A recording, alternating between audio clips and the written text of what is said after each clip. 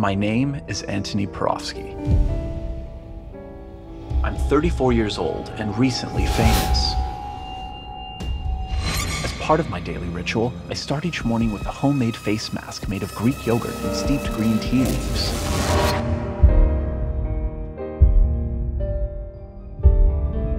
I don't care whether they like what I cook or not. They'll eat it if they know what's good for them.